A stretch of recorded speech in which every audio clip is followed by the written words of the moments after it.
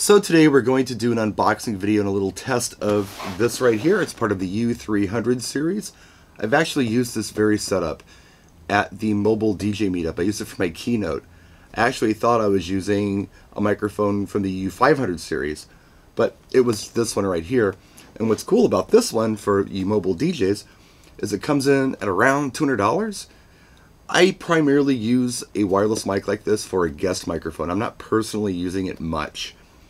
So something inexpensive where if they drop it, it's not the end of the world is nice. At 200 bucks, yeah, this sounds fine. And it's got the sound quality of the more expensive microphones. However, it doesn't have all the bells and whistles, which quite frankly, I don't even use.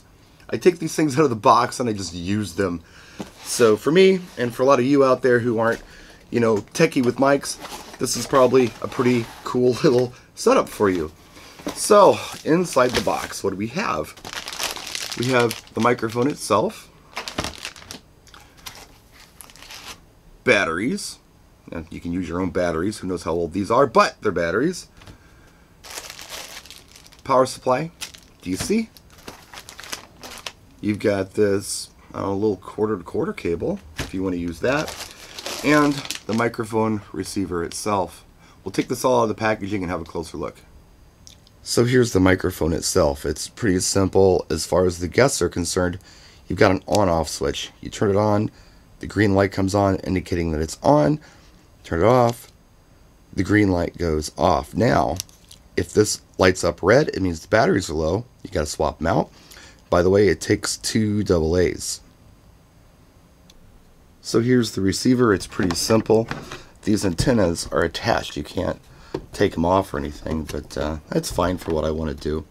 Turn it on right here, and it looks like the, I guess, microphone frequency is on 3. I think you can go 1 through 12, and you can change that via the channel up and down buttons. And there's also an IR sensor on here that you can pair the mic up with and make sure the channel changes. There's a process for that, but I'll never do it. There's a volume knob on here. Turn the volume up and down. And when you turn the actual handheld on, it indicates that. And when you talk into it, as you can see, the signal indicator jumps up and down.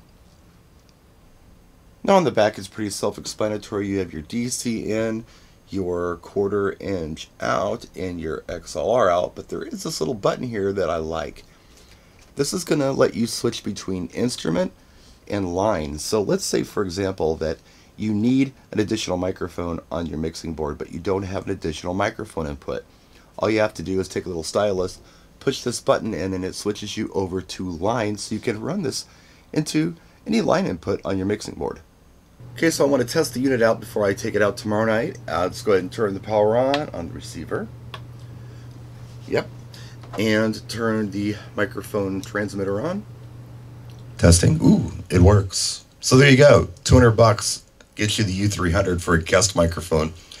And yeah, I use it at the meetup. Hopefully, I get that video soon. Don's supposed to give me the video from the meetup, and the microphone receiver was quite far away from me. It picked up fine, there was no interference. So, yeah, I have no hesitations to use this as a guest microphone tomorrow night. That's it. Thanks for watching. We'll see you next time. Practice and enjoy.